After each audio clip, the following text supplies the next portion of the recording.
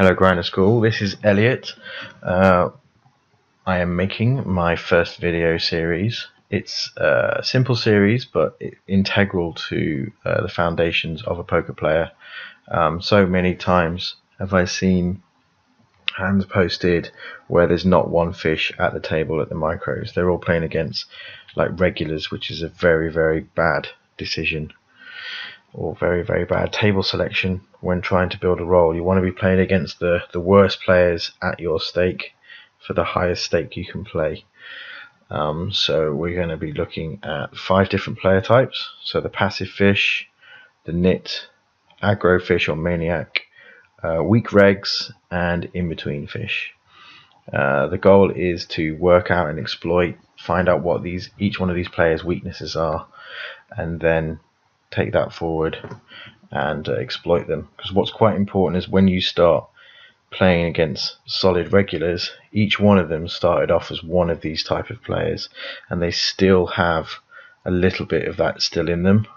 So if you can see a weakness on a large scale at first, so the passive fish, you will then see that in a in a regular later down the line they'll just have a, a little bit more a little bit less, I should say, exploitation. So first we look at how to exploit the most obvious players, and then as you move up in stakes, you you take what you've learned and you apply it to exploit the uh, the regulars at your level. So it's the most important thing. You've got to get these fundamentals down. Um, so there we go. And then once we've identified these players, we want to do table selection. We want to sit with these weak players. We don't want to just um, sit on a table and there be regulars there. We actually want to purposely go out, find these players, and take their money. And once we've found the correct table, we want to have the right seat selection. There's um, so many times I see hands posted, especially in Characters Forum, where I've seen players post a hand and they've got stats on all the players in the hand and not one of them is a fish. So it's pretty fundamental. And these are people playing at um, at 5NL. So I've actually just just now looked through the lobby, and I found about six tables at 10NL, which all had position on the fish. So there's literally no excuse to get the best seats and get the best table selection. Um, the main goal for the end of this series is to then work out what you're going to do against each fish at this level um, and then adjust your play to the table conditions. So we know how to play against each each player as as they leave or join you know and join the table. So that's kind of the end goal is to learn how to exploit all the fish and adjust to different fish coming in and out or regulars or nits or whatever or whatever we can find that's kind of like the main goal uh, to be a successful grinder at um, 2 to 10 an hour. So the first player we're going to. Oh, and actually, this is what I want to say as well. For me, I think is we need to be playing um, regular tables, not Zoom. I don't advocate playing Zoom until you're at the highest stakes. The reason for that is that you can find fish and weaker players in the lobby. Um, you don't need to be playing Zoom. You don't need to be putting tons and tons of volume in. You need to be finding very weak fish and you need to be taking their money and moving on. And you should literally just be rolling tables in and out as you stack fish or if they leave you should be closing that table and moving on to the next table. I do play Zoom but I play higher a higher level of Zoom and the reason for that is sometimes there is just no good tables. So you there will be fish in the zoom pool. You've just got to find them and play with them. I always get a bit sad when I see a maniac in the zoom pool and they leave straight away once that hand's over. So for me I like to go and find these players. And when I was grinding 10 and L that's all I ever did is went and found weaker players and I built my roll very very quickly. So it is, and also you're paying. you the games are easier, so you're actually playing for a stake where you can build your roll but learn at the same time rather than zoom where you will be your win rate will be lower you won't have great see on you know position on the fish all the time and you won't be improving your game as much um, or it'll be holding you back to move up so for me definitely regular tables find those fish and fry those fish okay so the next slide first uh, fish that we're going to, the first player type, the weaker player type, the first fish is the uh, passive fish. And they kind of come in two kind of brands. You've got the fit or fold fish and you've got the calling stations. So this is the, um, if you can look at the HUD that I've got up, this is the more basic HUD that I'll be using for the Grinder School videos for the moment when we're playing smaller stakes. So I'm just going to quickly go through um, what I've got. So obviously got name, and then we've got the amount of hands on a player, and then we've got showdown, and then made money at showdown, and we've got VPIP on the second layer, and then PFR pre-flop raise, and then post-flop aggression, three bet, fold to three bet, and then we've got fold big blind versus small blind steal uh, continuation bet, and then fold to, fold to C bet, flop, and turn. So the two things that I want to point out for both these player types is the showdown and the uh, fold to C bet. So the fit or fold player will often have a, a, lower showdown. So as you can see, the player on the on the left hand side has a 28% um, showdown, which is actually reasonably high.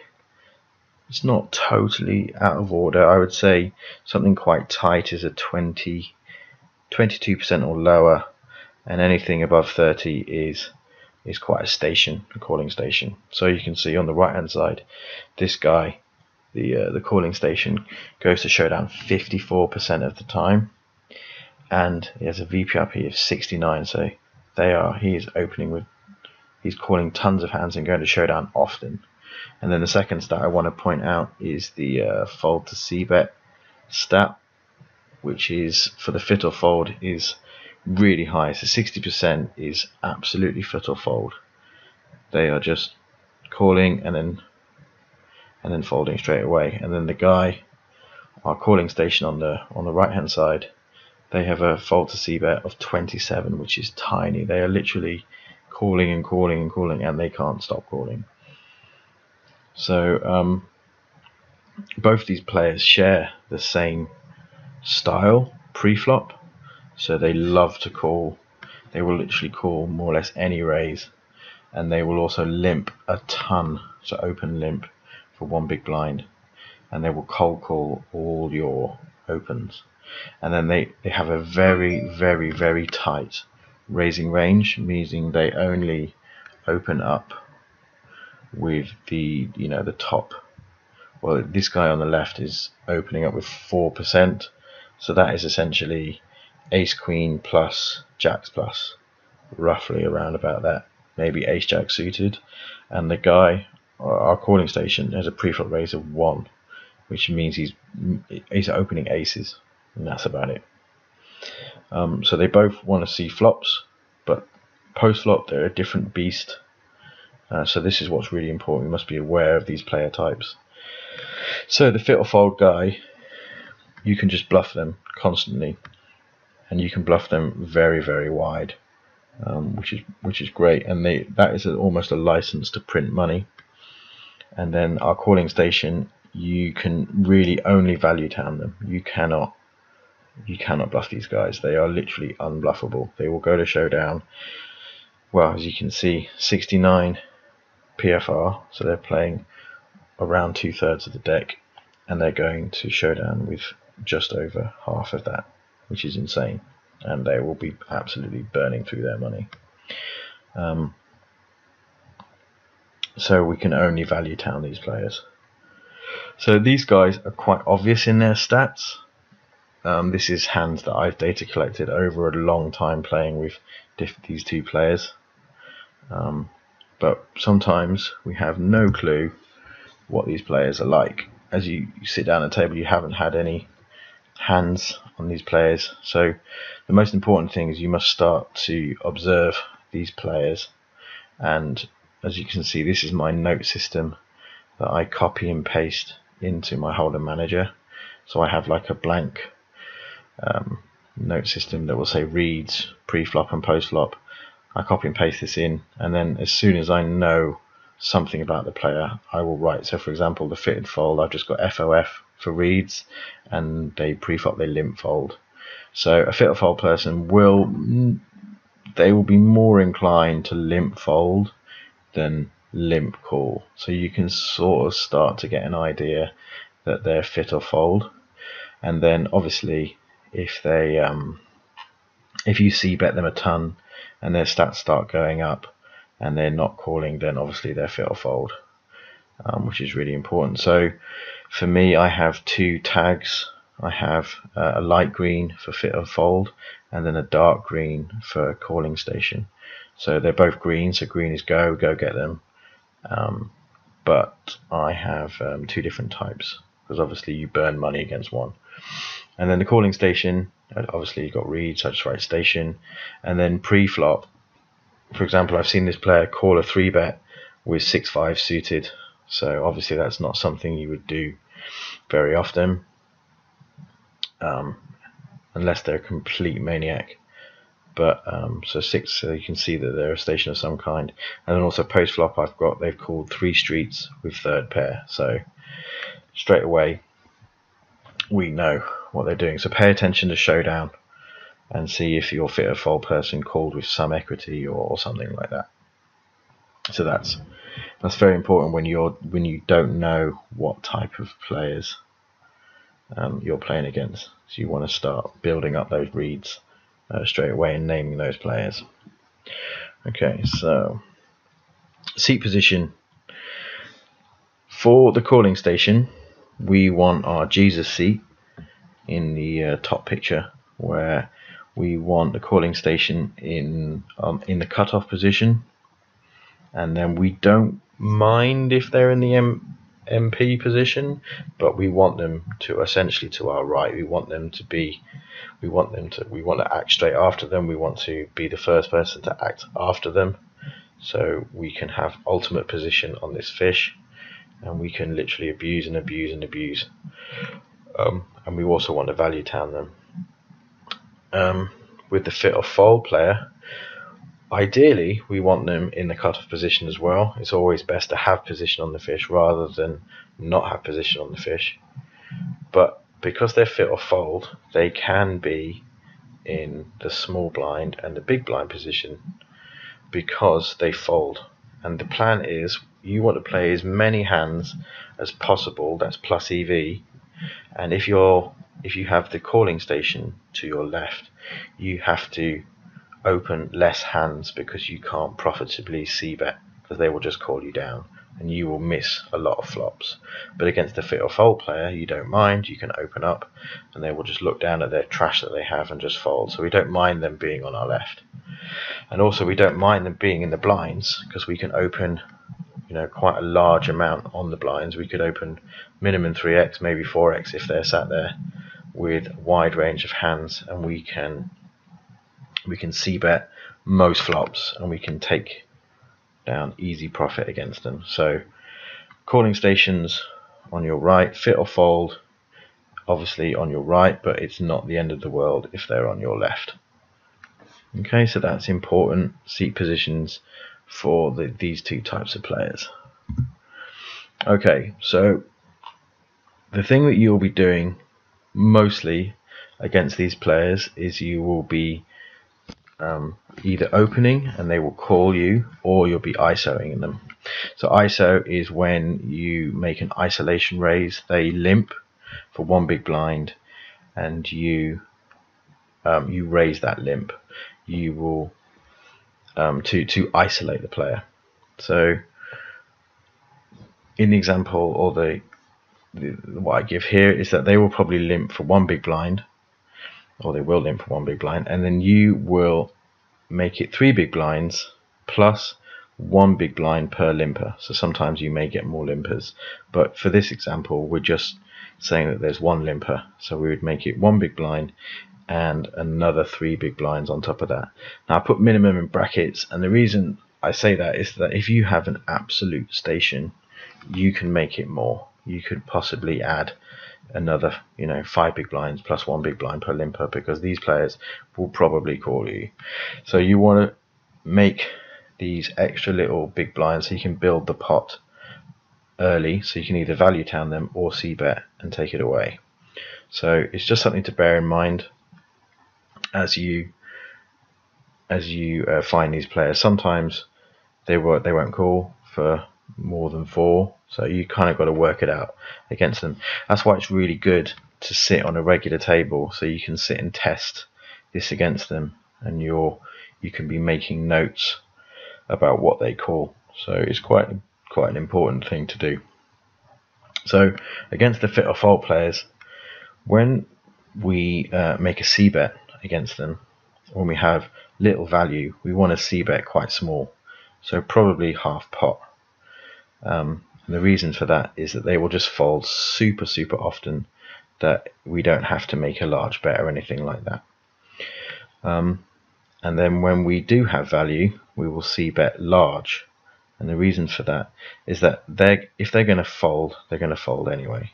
But if they have anything of any value, they will call. So you want to make that bet as large as possible, and eventually you want to bet turn, bet river as well, quite big with the plan of stacking the uh, the fish. So it's super important to get your bet sizing quite high. I've got an example uh, later on of someone who doesn't bet very well and they lose value against the fish. Um, again, with the with the uh, calling stations, we want to bet large with value, and we want to bet smaller with some solid equity. So, good flush draws, good straight draws, um, and some under pairs to the top pair, things like that. So we have solid equity in the hand. They're going to call us.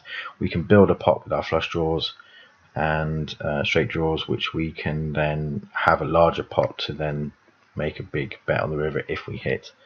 Um, so I think that's quite important to build those pots. If they're really, really, really stationary, then maybe we can actually check behind with some weaker flush draws, um, just because they're going to call us anyway. So be you know anything with sort of good showdown value as well. So ace, ace x flush draw is, is a good good one to bet because we, we probably have them beat with an ace anyway because they're just calling down with junk and gut shots and loads of weird stuff. So we're actually value betting when we when we bet those that, those strong flush draws. So just something to bear in mind. There's also we can delay c bet against these players.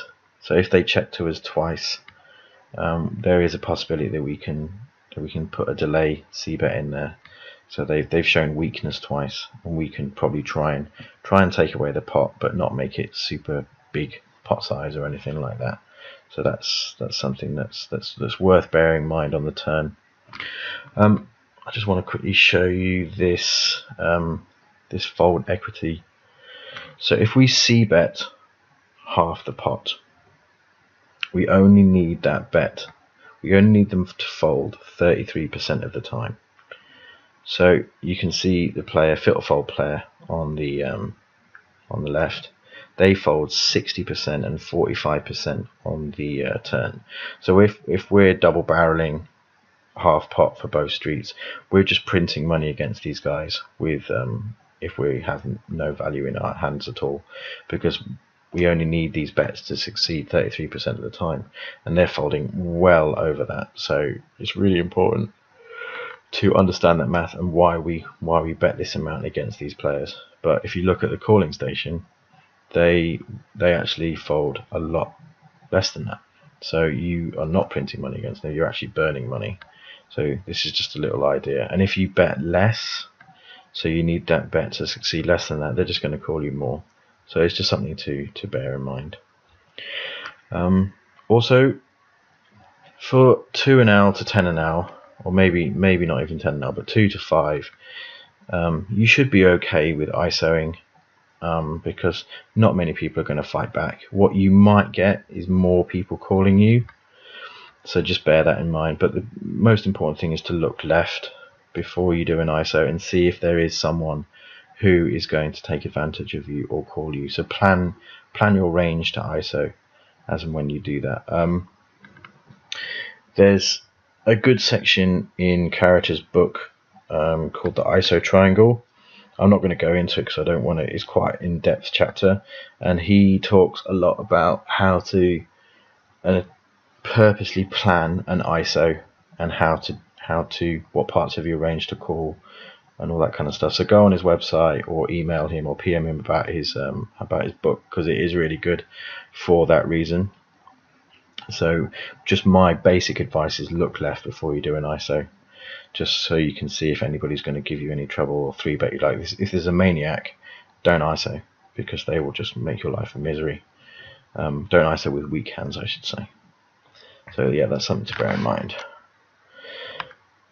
Um, this is also with when when you open and they call, you want to take this exact strategy as well, because it's essentially you've opened for a little bit less than what you would when they've ISO'd, they've limped. So just just take the same strategy and apply it for both player types. So this is a rough ISO range for um, for the different player types. So the stations, you want to have a stronger range. You want to have something that connects well, and you want to have something that can that can have good equity and you can barrel on and make decent hands. So this this range needs to be tighter. Um, so have a look at this and um, sort of use this is sort of a recommended range. Sometimes you can change it. It's not set in stone, but this is something that I've kind of whipped up that I think is just a good outline strategy. So all the red you can um, ISO the stations with and then the uh, red and green is for the fit or fold players so you can be a lot more wider with the fit and fold players um, because they're just going to fold often you don't want to go crazy because people start to notice um, but you want to have a very decent range there um, to attack these player types so that's the uh, that's the ranges. Um, bear in mind that if you're in position, these ranges can be a little bit. Um, sorry, bear in mind this is for in position. If you're out of position, you want to tighten these ranges ever so much because you have to act before the um, the fish. So you can c bet, and you may get called. But the thing is, the stations they have checked if you're in position. So you have that extra tiny little bit of information. So it is important to narrow your ranges ever so slightly if you're out of position and um, and just go there. Also just bear in mind who's in between you, like I said, look left and just work out if anybody else is going to give you problems. But most of the time at the lower levels you should be okay uh, in the higher levels, people will three bet you because they're noticing that you're stealing, and they'll three bet you a lot more. So it's just something to bear in mind. But these are the sort of recommended ranges for the two player types. Um, this is my how much money I have made just by doing ISOs alone. So you can see how profitable it is to completely just ISO these players all the time. It is it is a license to print money. So that's like I say, go find these figures, find these players on on regular tables and just constantly value town them and constantly ISO and take them down. Just work out which player type they are first. So that's just to prove that it does work. Okay, so if these players raise pre-flop, they have an extremely tight range, like super tight. So I've actually um, put it at the top. So they have aces to tens, ace king, king queen suited, and ace queen. So if they raise, this is roughly their range. And to be honest, most will be even tighter than that. I've seen players limp with queens and aces and all sorts. So they do do this. So when you call, you want to have a very tight calling range versus them. You can three bet aces and kings only, and do not three bet bluff these guys because they don't care. They they just have value, and also these guys don't fold, so you're not going to get any folds out of them, and they won't fold strong hands anyway. So you're literally just being you're being linear in the sense that you're just three betting for value, and the only hands you can really three bet for value are aces and kings. The rest of it you can limp behind, so that all the green is um, if you're in position and it's early position versus a limper. And if you in the blue, you can add if you're on the button and things like that. So just because their range is so wide, uh, sorry, so so tight that you that you need hands. So you need implied odds hands, something that is going to flop a flush, going to flop sets, going to flop flushes, and straight draws, things like that. So anything with implied odds, because if you hit versus these players, you are pretty guaranteed to get quite a lot of money out of them. Hopefully, their stack. So that is very important. So don't be calling with king queen off. Don't be calling with ace jack off because those hands will be dominated, and it's your own fault if you start calling with those hands just because they look pretty, and you think that they're still fish. They are fish, but they're fish if they're raising with an extremely strong range. So um, yeah, just just bear that in mind. Okay.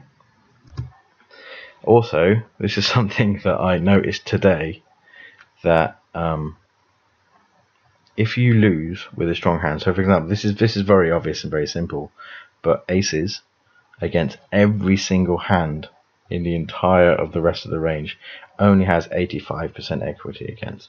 And there's a lot of time you will get aces in pre and you will lose against these players. And that is something mentally game on a mental game to be celebrated. Because if these guys weren't winning this way, they wouldn't be in the game. They don't know how to play, so they don't care. The fact that they have just won and doubled you, um, and you've doubled them up, is great for them because they stay in the game ever so slightly longer. You know, they may have just bust someone on another table, got up and left, sat down at your table, and then you get to bust them. So you have to be you have to bear in mind that variance will get you in this game. And it will get you quite often, especially with someone players like this. But over the long run, you will make tons and tons of cash out of them. In the short term, you may lose, and you may lose with great hands, and you, they may hit that perfect river card, and they will stack you. But that is the way it is. But the most important thing, and I saw this today, I was playing today, and they, a guy got stacked, and he typed in the chat like, um, you know, hope you die of cancer, stuff like that, which is insane because this guy, you know, he's the the the the, the fishy type player. He's just sat there playing, you know, and he may have sucked out on someone, and he's probably happy. And then this guy's getting all grumpy and in his face, and this person, you may be ruining their experience. And you know, the truth is, you don't want to tap on the fishbowl. You don't want to scare these people off or give them a bad experience because they're they're part of the the um, ecosystem of the of a of our poker world. So we need these players in the game. So you know, if you just lose, type nice hand. Sometimes, if they sometimes I'll sit down and they chat in the chat box. Just chat back to them and they will, oh, you know, oh, good hand. Oh, you, you did really, you know, oh, good catch. Blah blah blah blah blah.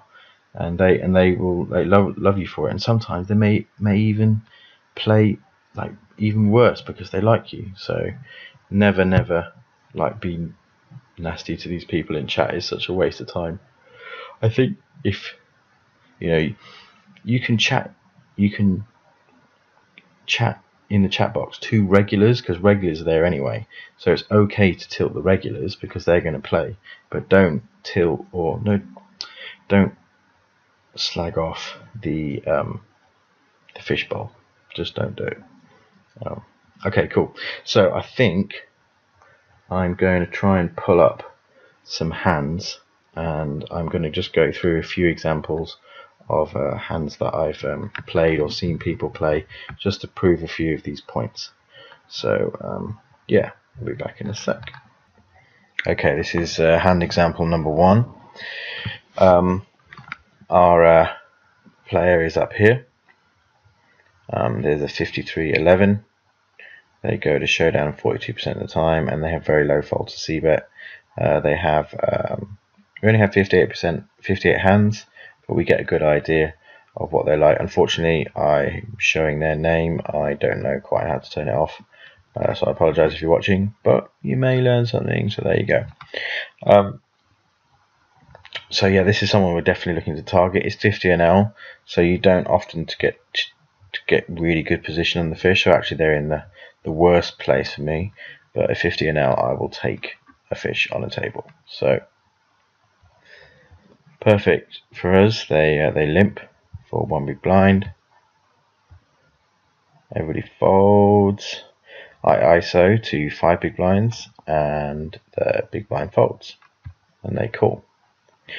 So I flop top pair on a three flush board and I almost pot straight into them and and they call.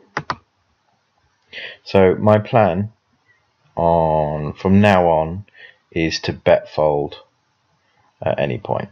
So at the moment, I'm just bet, bet, bet, bet, bet. But if they raise at any point, they're a passive player. I don't mind folding. So my top pair essentially turns into garbage if they raise. So again, fine turn card for me. Not happy against King Jack, but you've got to consider their range is quite wide. They've got tons of random King X. They've got load of flush draws.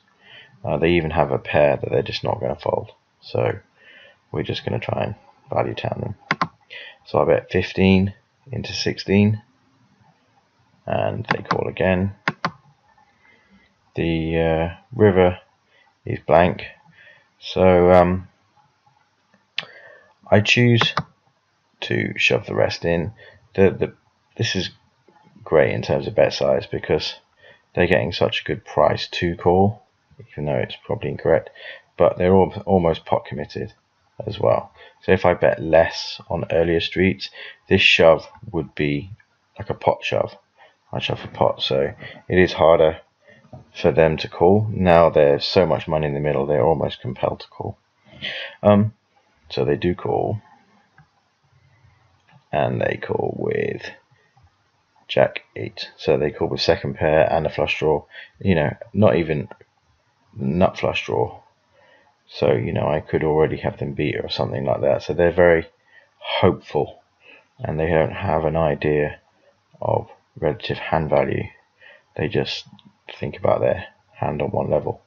There was one thing I did think about this hand that if they do have a flush draw and they're just going to fold river, but they may, may, may, may bluff if I check. That's the only thing I did think about when looking looking back at this hand. But I think it's probably better to to bet and hope that they call with something like they have than just fold. So I think it's okay to shove the, the river there for value. So that's one hand of just betting for value, betting strong with your um, with your main hands, with your made hands for value. So there's a good example. Um, and we'll move on to another one. Okay, hand number two. So this is an example of what happens when a passive fish raises in a hand. So our hero is this player in the big blind and this is the target player here. The fish shows a 58-0, uh, quite passive, goes to showdown a ton, folds the c-bets quite uh, not a lot, so he's definitely someone that we need to attack. Um, so they limp, which is pretty standard for that type of player, and our uh, our hero in the hand isolates the player. which is totally cool. And they call. So this, I think I said this player's got ace, ace king, and um, he c bets uh, quite large, which is good. Possibly go ever so slightly more, maybe, but I think that's okay. And the player calls. So all fine and dandy.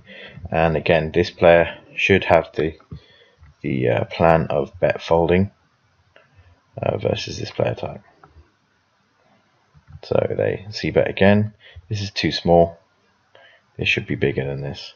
It should be at least three 350 because you want to be trying to get stacks in by the river. Um, if they call this, there won't be a just about a pot size shove, so you want it a little bit more than that. Um, and anyway, so the player then raises. So alarm bells should be going off in this guy's head. Like, what is a passive person raising with here? Are they bluffing? Do these players bluff? No, they don't. They call down. So, to be honest, he should look at his ace king and go, right, there's possible sets and there's straights. So, which is all in this guy's range. Um, so, this is just a little lesson. What this player does, which I think is horrendous, is they shove. Um, so, you can't be shoving against a player like this because they call down, they don't get aggressive. When they do get aggressive, you just need to fold. Okay, it's, it's pretty simple. Um, you know, when we look at aggressive fish, it's a different ball game because they will raise with anything. So we completely change our mindset. But against someone who's really tight, it's very obvious if they're really tight and they don't get aggressive very often, just fold. It's easy. So anyway, they shove. Um, you know, you could maybe, maybe argue that you could call because you do have a you have a gut shot. Possibly you could argue that, but you'd definitely be looking to check fold river.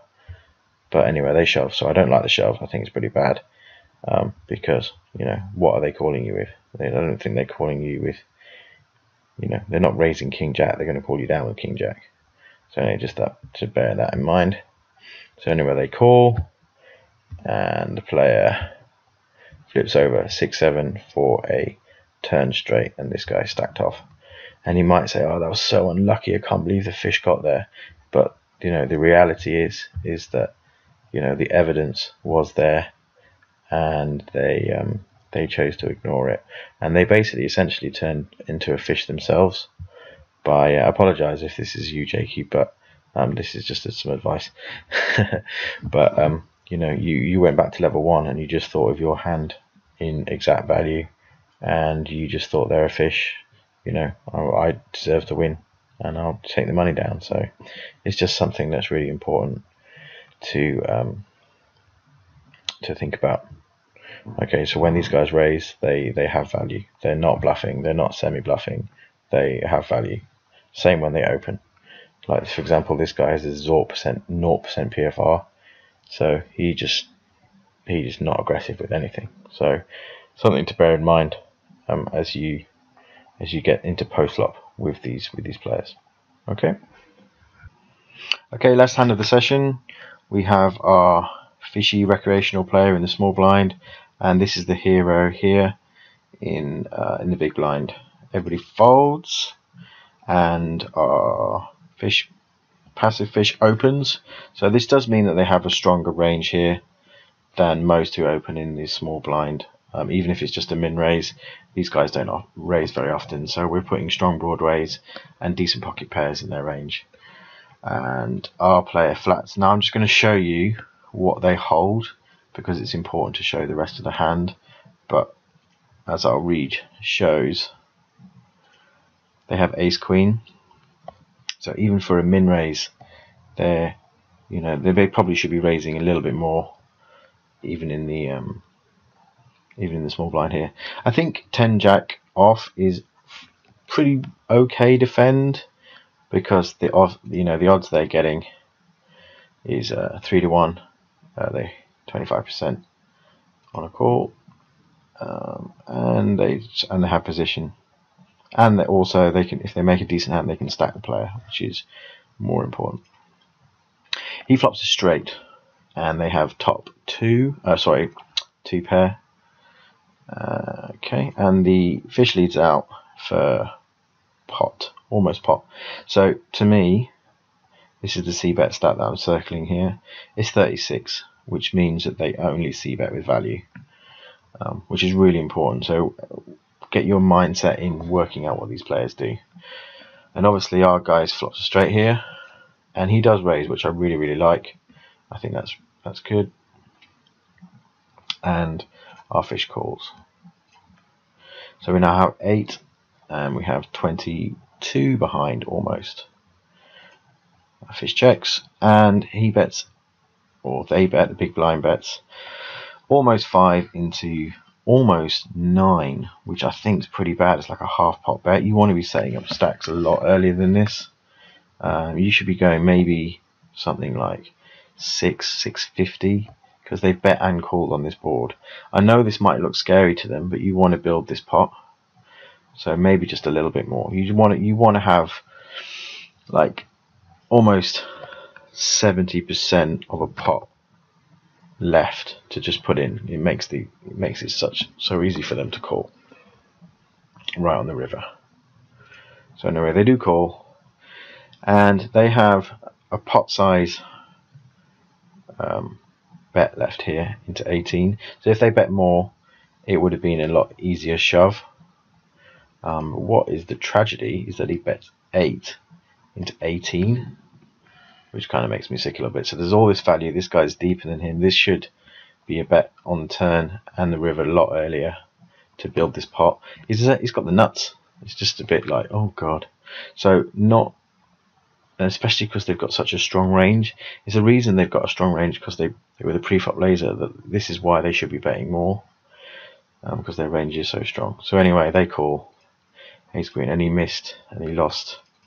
He missed the nine dollars. That could have been could have been his. So just to, to emphasize, you must be value betting and value betting very effectively versus these player types. So that's the last hand. It's the first video in the series. I uh, hope you guys enjoyed it. Leave me some feedback, any notes, that would be really cool. Um, I think for the next episode, I'm going to do a live play video, um, probably 2NL and 5NL, so we can see these concepts in in real time play. So um, yeah, just just carry on watching. All right, well, thanks for watching, guys. It's been uh, it's been good. Uh, take care. All right, bye.